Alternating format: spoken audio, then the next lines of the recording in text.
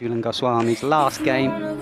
The moment that sort of summed it all up was the skipper's reaction, Harmanpreet Kaur. Skipper was in tears that a senior bowler was taking centre stage for the last time. Usually absolutely in control of her emotions, Harmanpreet, she couldn't hold back.